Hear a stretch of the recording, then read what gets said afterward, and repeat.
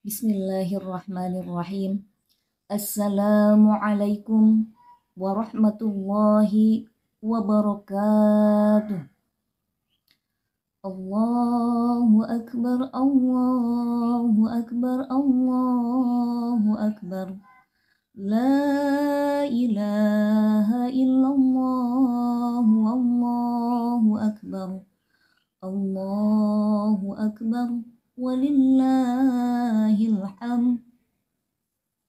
Alhamdulillahi rabbil alamin. Wabihi nasta'inu ala umuri dunya wad din. Wassalatu wassalamu ala ashrafil anbiya'i wal mursalin wa ala alihi wa sahbihi ajma'in. Amma ba'd.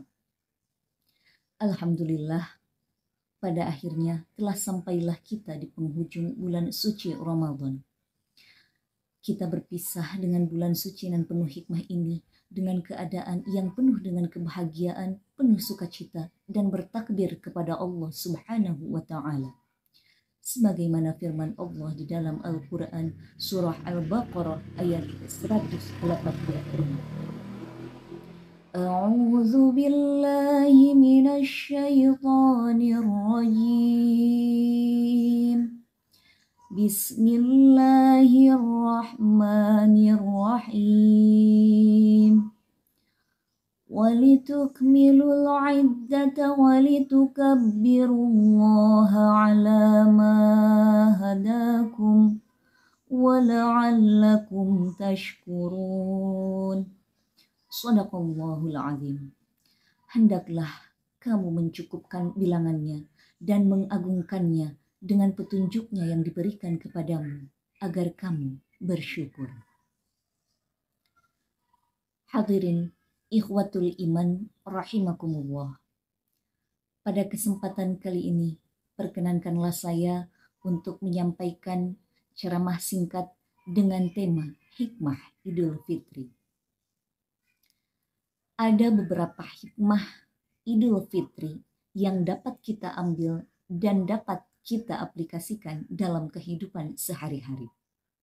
Yang pertama, puasa Ramadan yang diakhiri dengan sholat sunat Idul Fitri ini, faktor teragungnya adalah melahirkan perekat, pertautan hati antara sesama manusia khususnya umat muslimin dan muslimat.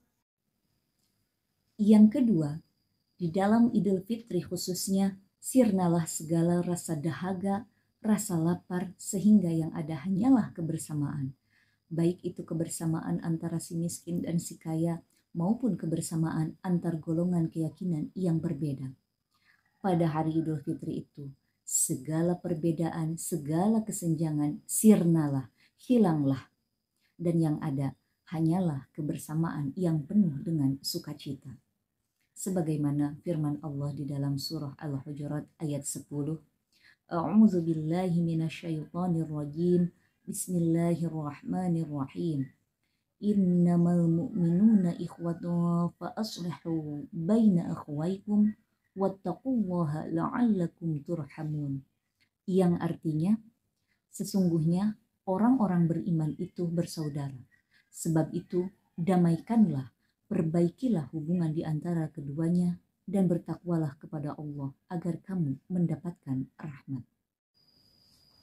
Selanjutnya, hikmah yang ketiga yaitu keceriaan dan kegembiraan di hari Idul Fitri merupakan satu nikmat yang besar lantaran kita mampu menunaikan perintah puasa Ramadan selama satu bulan lamanya yang mana puasa Ramadan ini merupakan salah satu rukun Islam kalau bukan karena taufik dan hidayah dari Allah, kalau bukan karena kita diberikan kekuatan, diberikan daya dan upaya dari Allah Subhanahu wa taala, kita belum tentu mampu melaksanakan puasa Ramadan selama satu bulan lamanya.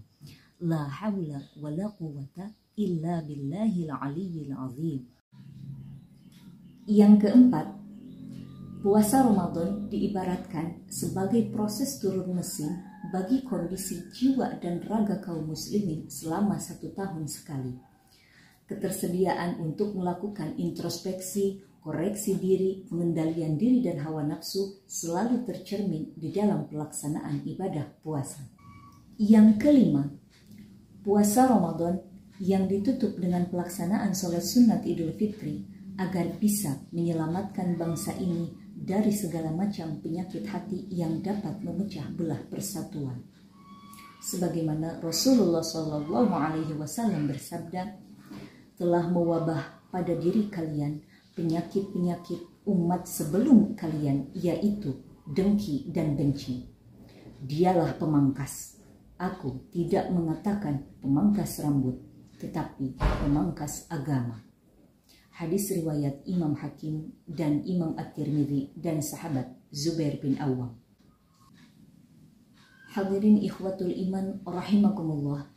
Demikianlah beberapa hikmah Idul Fitri yang dapat saya sampaikan. Mudah-mudahan apa yang saya sampaikan ini dapat bermanfaat dan dapat kita amalkan dalam kehidupan sehari-hari. Sebagai insan yang masih banyak kekurangan dan masih minim akan ilmu dan pengetahuan, kiranya pemirsa dan sahabat-sahabat Fatayat semua dapat memaafkan segala kesalahan dan kekurangan dalam penyampaian materi ini. Saya Emma Amiatul Marhamah dari PAC Fatayat Nahdlatul Ulama Kecamatan Manonjaya mengucapkan Taqabbalallahu minna wa minkum siyamana wa siyamakum minal aidin wal faizin. Akhir kata, wallahu muwafiq ila aqwamit thariq. Wassalamu alaikum warahmatullahi wabarakatuh.